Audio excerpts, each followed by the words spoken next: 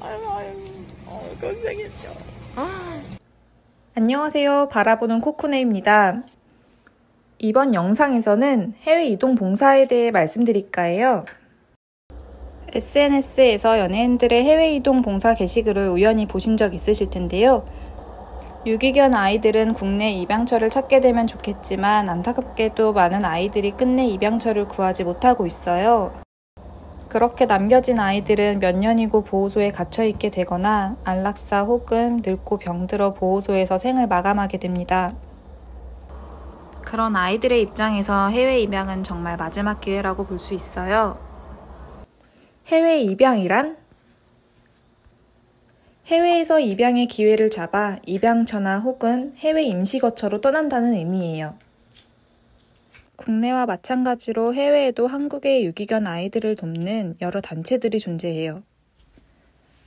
해외 단체와 국내 단체가 힘을 합쳐 아이에게 좋은 입양처를 알아보게 되죠. 해외 이동 봉사란? 이렇게 해외로 떠날 기회가 생긴 아이들은 각 지역으로 떠나게 되는데 아시다시피 아이들은 실질적인 주인이 없기에 해외로 이동하는 데 많은 제약이 있어요.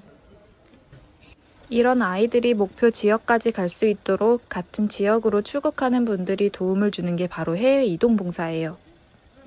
해외 이동 봉사를 하기 위해선 떠나는 아이와 목적지가 같아야 하고 아시아나 혹은 대한항공 편이어야 가능하다고 해요.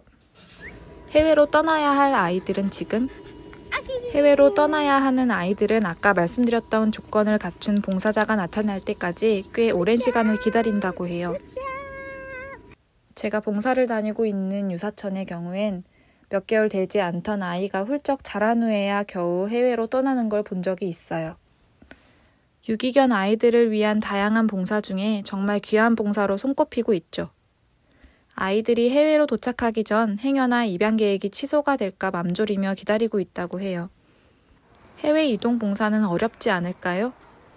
유사천에서는 봉사자분들이 조금만 일찍 공항으로 와주시기만 한다면 그 외 필요한 서류와 절차를 모두 준비해 주신다고 해요. 다년간 아이들의 해외 입양을 진행한 경험이 있고 많은 봉사자분들이 유사천과 함께한 후 보람찬 후기를 남겨주셨어요.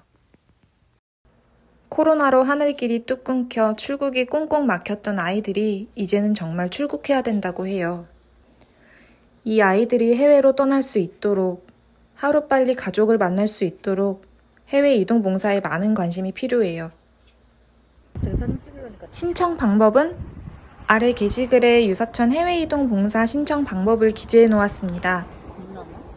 읽어보신 후 많은 신청 부탁드리고 추가적으로 궁금하신 내용은 댓글로 달아주시면 답변 드리도록 하겠습니다.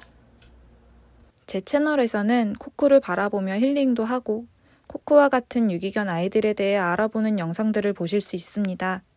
이 천사처럼 맑은 눈을 가진 코쿠와 함께 바라봐 주실 분들은 좋아요, 구독 많이 눌러주세요.